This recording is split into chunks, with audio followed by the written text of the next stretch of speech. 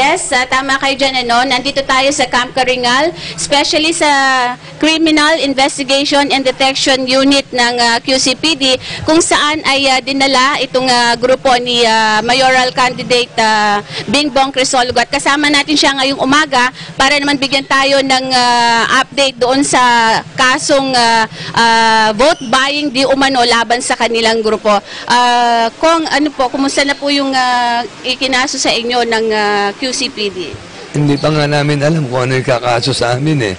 Actually, sinasabi nila vote buying yan. Pero nag-umpisa ito, ah, yun ang headquarters ko. So, meron kaming watchers training for this ah, election sana.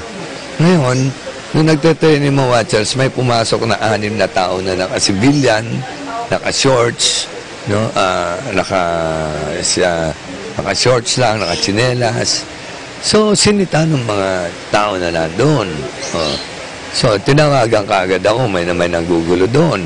So, being a mayoralty candidate and that being my headquarters, I felt it proper then na puntahan ko. Di ba? So, I went there together with uh, uh, the PDP Laban Secretary General because that's a PDP Laban headquarters. No? And I notified my son, Attorney Edrix, na sumunod kayo. Kasi lawyer yun anak ko. So, on the way kami, sina, tinawag na sa amin ng mga pulis raw. Di sabi ko, tanongin yung ID nila, anong pangalan nila, so that we could charge them for trespassing and for illegal search. Wala pa nangyayari, no? This is the whole story. So, pagdating namin, Pumasok ko sa loob, may mga pulis na sa labas, naka-uniform. Ayaw pumasok. No? So, pagpasok, pagpasok ko, nandun yung mga pulis, tinanong ko kung ah, pulis sila, ayaw nila magbigay ng ID, ayaw nila mag-ano. So, sabi ko, diyan muna kayo, kasi i-charge namin kayo ng trespassing. Or, kung tunay na pulis kayo, illegal ah, search sa pasok nyo. After that, biglang dumating, pero wala pang na-aresto. There was no vote buying na aresto eh. Ah, Paano po ah, sandali, nangyari? Sinasabi nila, yung anim, nandun raw sila for vote buying. Uh, dahil may tip raw na vote buying. Pero wala naman.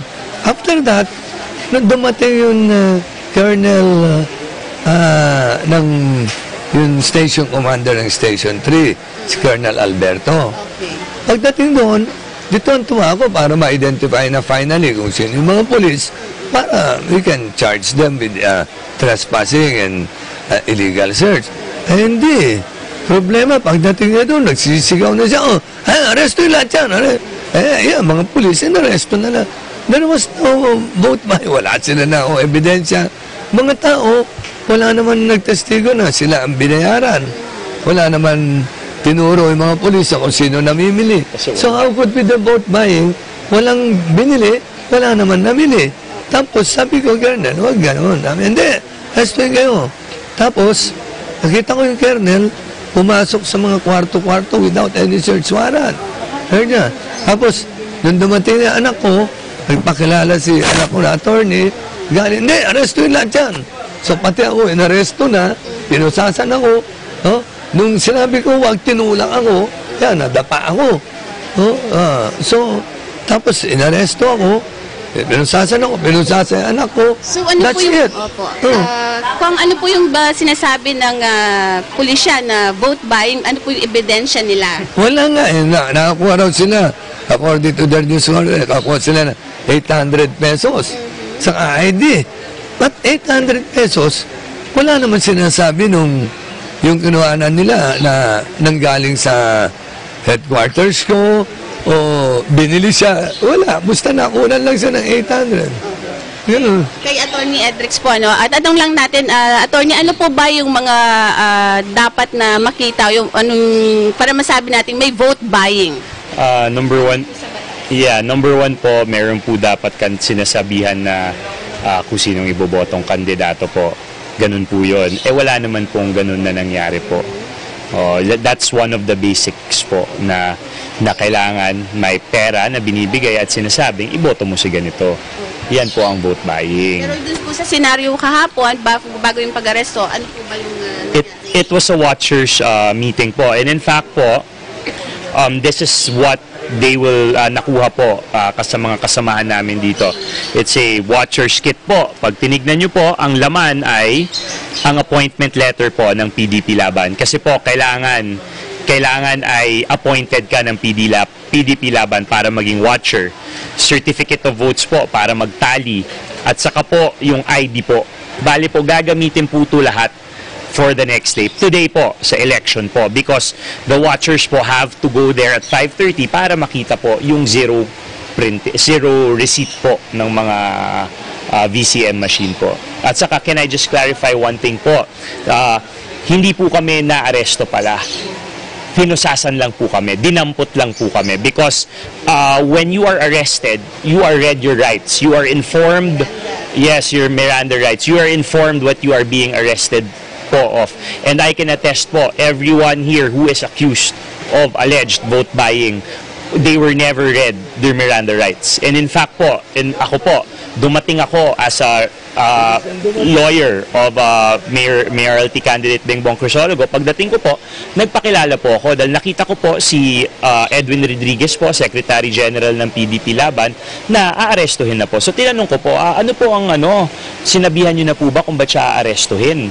At saka po, binasahan na po ba ng Miranda rights? Tapos nagalit po, oh sige, babasahan ko na yan. Binasahan niya.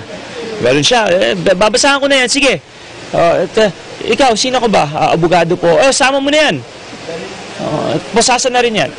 So, attorney, ilang oras na po kayo nandito sa Cebu ah, after, simula nung kayo ah, inaresto doon sa headquarters at hanggang ngayong oras? We were, 7.30. Yeah, we that- were here at around uh, 8.30 yata. 8.30. So, may, wala pa rin po bang naisasampang ah, malinaw na kaso? Ala, ala. We don't even know what we're being charged for. Uh, ang meron nangyari kanina, yun lang, minedical kami. Doon nga nakita yung sugat ko. Uh, yun, yun lang, wala na. So, ah, ano pong ah, plano ninyo, legal move ah, ah, dito sa nangyari na ito, Kong? Well, unang-una, ah, kung hindi sila mag uh, ng demanda, they have to release us within 18 hours, which is at 2 o'clock in the afternoon, so that I can vote. No? If they will not, then eto eh, maliwanag na, paglabag na. Tataka ako vote buying. Wala naman vote buying. Hindi, no? Wala, wala, walang nauling pera. Tapos, samantalang kahapon, blatantly, ang SBP party ni Joy Belmonte sa Gian Soto, oh, nandun sila, nandun kayo siguro. Nandun sila sa Roosevelt Avenue. Oh, Grand Rally, ang daming tao. Dumating si Willie Rabillami, nag-show, tinawag niya si Joy, endorse siya. At sige, endorse siya. Tapos, namigay ng tag isang libo sa crowd. Huh? After that, in-endorse na naman si Joy. Eh, ang dami namin pulis in front of thousands of people, hindi naman nila inaresto. Tapos eto, wala naman vote buying, aarestoin nila. Na pati yung mga sumaklolo lang, like me, pati abogado, eh, eh, inaresto nila. Kung With araw, Trump up charges. kung araw po ng eleksyon na ngayon, ano, botohan na po natin ngayong araw na to. Ano po ang ah, inaasahan natin kung kayo ay ah, dapat kan umaga kayong uh, boboto, yun ang schedule ninyo? Oo, oh, dapat eh, 9 o'clock ang schedule kong boboto. Pero ewan ko, eh, iyan ang gusto siguro nila mangyari. Mga katunggali natin, na hindi ako makakaboto, pero I don't know. I think the people of Quezon City are mad uh, with what happened. Kung mensahe na lang po sa ating mga kababayan. Dito sa Well, sa akin, sa ating mga kababayan sa Quezon City, uh, lumabas ho kayo, bumoto kayo, marapatan yung bumoto, bumoto ho kayo, at ah, tayo po ay magbantay. Kasi po, tignan nyo, ah, ang police ah, abuse dito sa Lungsod Quezon, kung kaya nilang gawin sa congressman po ito, kaya rin nilang gawin sa ordinaryong tao. Pangalawang beses na nilang ginawa, ito, itong si General Escobel, ah, at saka itong si ah, Colonel ah, ah, Colonel Alberto, ah, si Esquivel, dalawa na. Kung naalala ninyo, nung namatay si Kapitan Beng Beltran, kasama ko, yung anak niya, anak ni Kapitana, at ako, being the mayoralty candidate, congressional candidate ko si Kapitana Beng Beltran, ayaw nila kong papasukin na naman dito sa kampo. Ah, para mag-attend ng, ah, ng press ah, conference. Ang pinapasok nila, Joy Belmonte na naman. Eh, ewan ko kung anong klase ang pulis natin dito sa Lonsod, Quezon.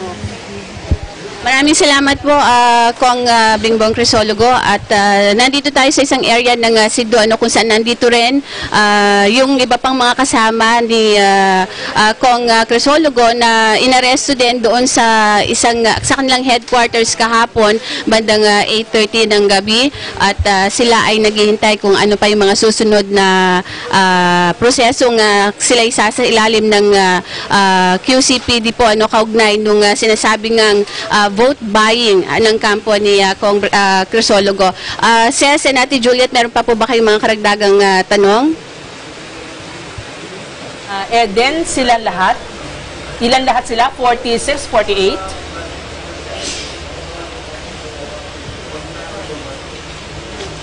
Forty-six or 48 ba silang na ano? Ah, kanina tinanong natin ano si Sec Gen Edwin ah, Rodriguez, um, mga 44 daw po yung mga inaresto lahat ah, ng ah, QCPD dyan sa bahagi po ng ah, kanilang headquarters ah, ah, sa Bahay Toro. Can you tell us, uh, Eden, yung reactions ng mga kasama ni Congressman Crisologo? What were their uh, reactions nung sila ay arestohin?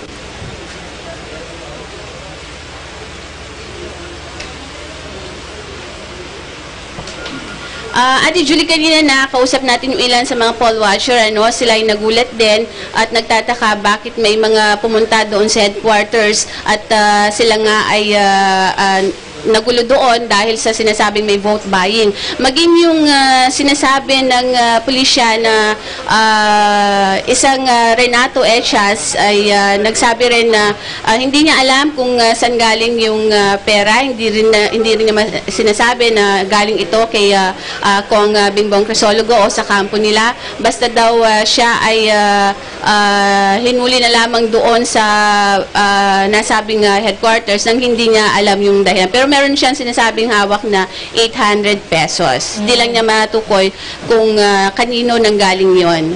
Ibig sabihin, till 2 p.m. ay maghihintay tayo kung ano na mangyayari. Ganun ba yon, uh, Eden?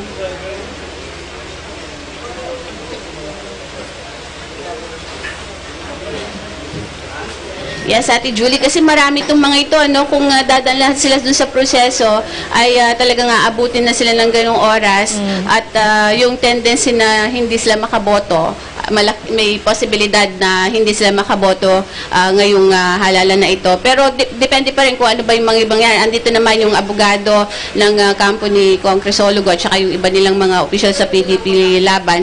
Ah, yung mga poll watcher nila na nandito lang sa Bombaligid, di pa raw sila nag-aalmusal at hindi pa rin sila nakakaligo simula nung dinala sila dito. E- even sin, sina ah, Kong uh, Crisologo at saka yung ah, kanyang anak ay ah, hindi pa rin ah, kumakain at hindi pa rin sila na- nakakaligo ngayong ah, mga oras na ito. Maraming salamat, Eden. Si ah, si Eden yan, Santos. Ano? Nandyan sa Oo. Camp Karingal. Mm, mm, mm. Ang gusto din sana nating malaman, no, kung ano ang reaksyon ng mga supporters nito ni Kong, kung sila ba ay pupunta doon sa Camp Oo. Karingal ngayon. Ah, oo. Mhm.